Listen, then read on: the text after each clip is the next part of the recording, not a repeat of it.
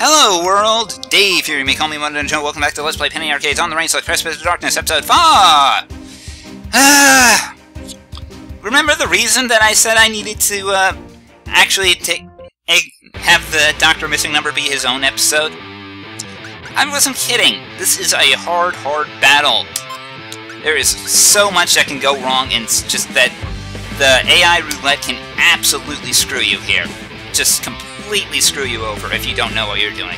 So we're going to start off with a quick breather to make sure that we can actually get off all the to get off all the buffs and debuffs that are required for this. Uh, actually, while we're at it, speaking of which, and make sure to fire off our interrupters, using only interrupters for interrupts, because anything else will just not do enough interrupt. As I've learned very, very quickly here. A forced empathy, want to make sure that I get that off as soon as possible here. And uh, we're going to be spending a lot of early turns just making sure that we have everything required to get going here. A, yeah, let's use Silhouette. After all, that uh, speed boost is, that speed boost attack really requires me to actually get things going here. So, you defend, and hopefully we'll be able to get head off all the good stuff right off right off the bat here. So let's see here friendship. And now that we have this going, a quick taunt just to make sure. I think I, I think we'll be able to actually do the bulk of the damage with Anoetzo Sai here.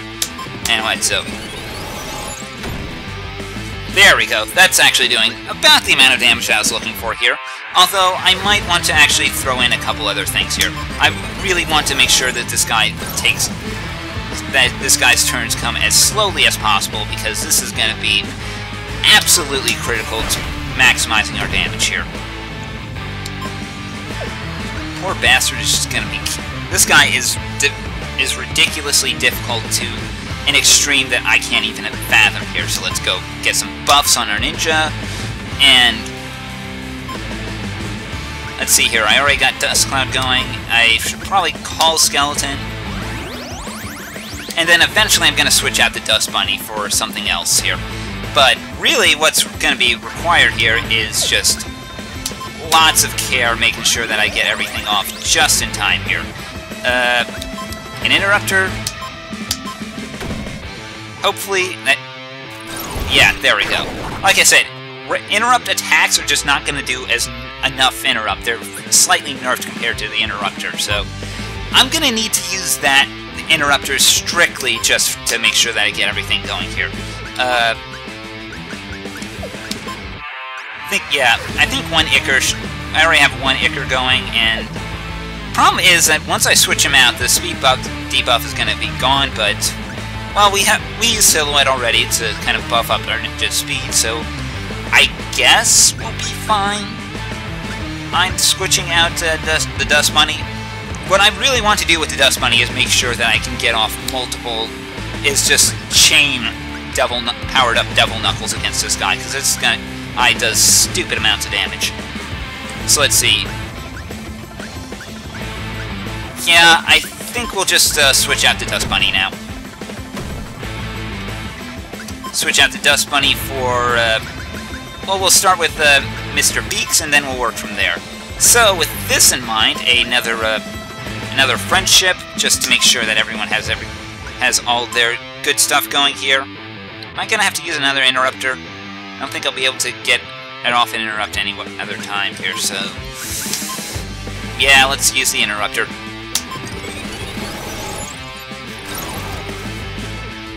Hopefully this should be sufficient to stalling here. That's really all I need is to stall, stall, stall. Because this bastard, like I said, if I haven't stated it, I cannot overstate this enough, this bastard does a lot of damage.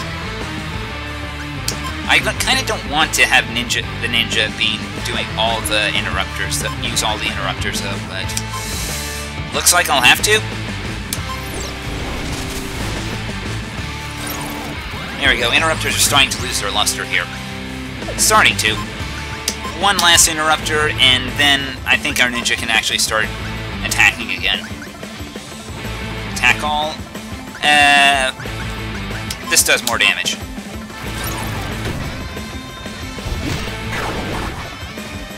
So now that we have this going, uh, hopefully we'll be able to get some get some our damage actually rolling here. Power up Devil Knuckle, and that should be that is really what I'm looking for here. Powered up Devil Knuckles. Ouch. Hug the Toad. Powered up Devil Knuckle is probably going to be the bulk of our damage, honestly. So let's see here. A, another Anoetsu. I mean, I'd like to think that the ninja could be doing all the damage, but let's be realistic here. There's only so much that can be done. Uh, let's make sure that Forced Empathy still applies. Anoetsu, and now let's uh, and now let's switch again. I'm gonna be needing to be very, very judicious with this. Uh, let's get off another friendship here. Bye bye, Mr. Beaks. Hello, Leviathan? Yeah, Leviathan. And let's just keep going with... Actually, you know what? What we need now is a breather. That way we can actually do something for a turn here. I don't have to keep worrying about what's coming up next. Do I have another interrupter? No, I'm out. Oh well, I guess we'll be just using a regular interrupt here. Uh, but for now, let's just Scorn Strike.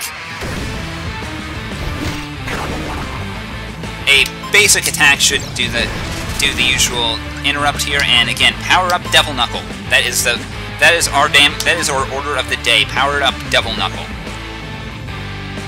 Let's see here, another Anoetsu.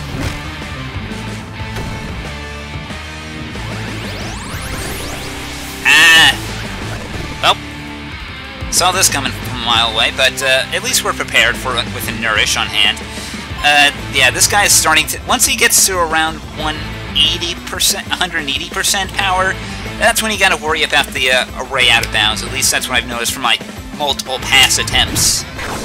This guy will is absolutely brutal. I do not joke about this. Do not underestimate him. Another Anoetsu.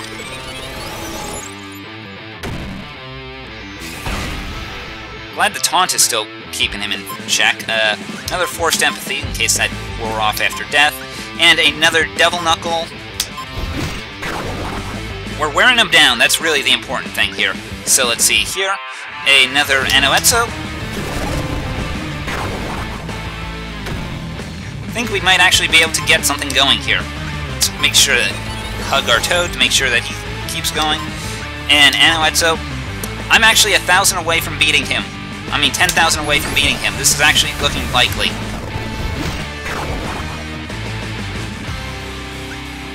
So,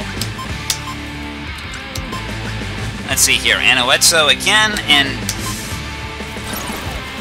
I kind of want to just... Uh, Dark attacks I know won't do anything against him, though. That's my thing, so... Let's throw a Molotov right about now, I don't think using another switch would be a good idea, so... And a a drain, hopefully?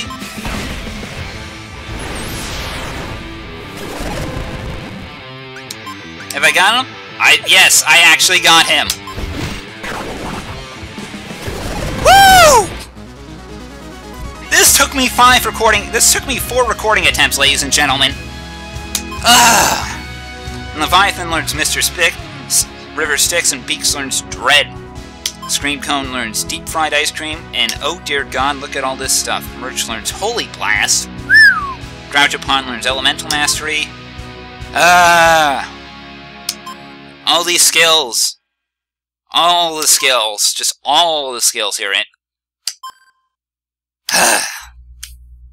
On top of that, we learn have Dr. Missing Number joining our party there. Oh dear God! Like I said, folks, four att recording attempts to get this to work. Audacity, the Audacity file is stupidly huge, and I have like too many spare Fraps files just sitting around on my external hard drive now because I kind of have to use the external since my computer died.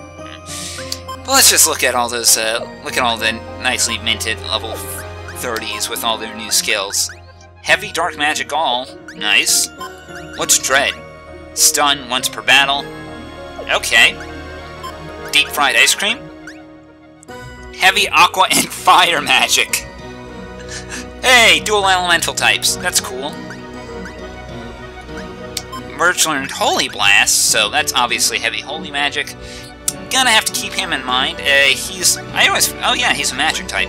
I'll probably actually have to start using him just for that uh, heavy... Just for the Holy Blast.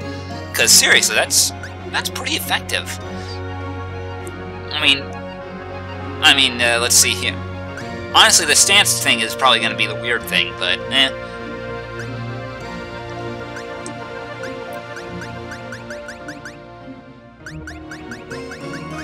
But yeah.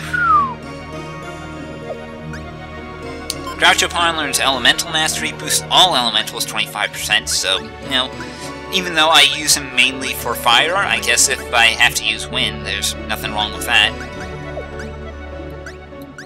Uh, Gumez! Oh no, it wasn't Dark Touch that he learned, it was Gelatinous Cube. Summons a Gelatinous Cube. I guess that's like Skeleton? Coin Spew, damage based on current cash flow.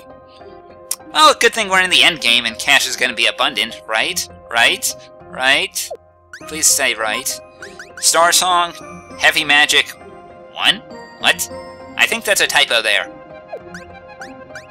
Gabe happens to learn Pulverize, which was the uh, 9 MP Ultra, Ult of Massive Ignores Damage, probably one hit kill everything skill that we'll never actually use because 9 MP. Hestia learned, what was it? Corrosion. Of all, wow, that is a nice passive. And Dr. Missing Number is, oh yeah, he's essentially, he's, he's Dr. Blood, but he has other stuff. So I guess we can probably go ahead and give, yeah, this is gonna be, I guess he exists solely for Leviathan now. Although Glitch is gonna be stupid, although he, Leviathan kind of already has River Styx. Hmm. But still, Energite is definitely a solid, solid zero MP skill. And just, I mean, probably won't use Akimbo. Probably won't use, I mean, I'll try to, I might use Capomancy. But yeah, let's go ahead and, uh, Gabe, you're done with him. Missing number? Yeah, let's go with this. Although, although his magic's still quite abysmal. Well, maybe I could rectify that somehow. Do I have anything that could? Well, that's that. Finally! So that's all the optional super bosses done. Next episode, we will actually head into Overhell. But uh, for now, hmm. I think I just want to head down to the Coliseum and maybe buy one thing. I mean, I know I should probably save up for the coin spew, but eh, I don't know. I don't really use vendor anymore. Where the hell is the Coliseum? Ah, here it is. Ah, feels good, man. Feels good.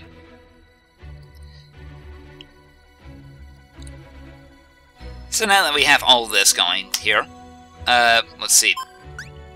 Something to boost his... Well, I guess sword? I don't know. There's like nothing that I can actually use for him to actually get any kind of reasonable magic boost.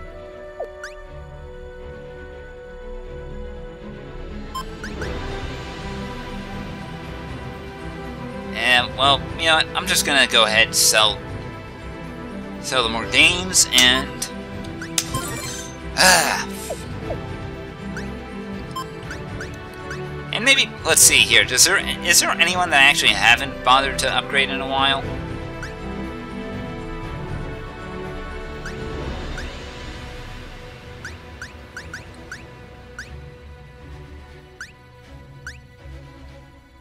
Oh yeah, right. Well, probably... Oh no, I actually got... I uh, actually got him already, so... He's already covered. Huh. I guess we're good. Well, unless I wanted to do something to make sure that, uh... Hmm. This is actually kind of bothersome that he's so... supposed to be so good with magic. That he has all these magic skills and just nothing to do with them. Oh well. Take what you can get, leave the rest behind. I could probably actually go ahead and... it's actually tempting, though, to maybe throw one of those skill... Let's see. Throw Dr. Missing Number on a character that actually has some very heavy MP skills, but is largely magic-centric.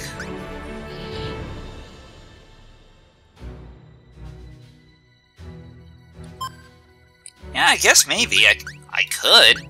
It's tempting.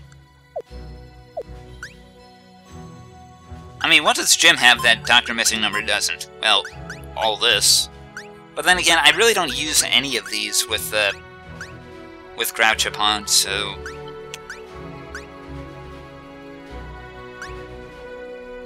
Well, Ichor, well, Ichor's so good, though. Mm. Ichor's so good. Icar just so, so good.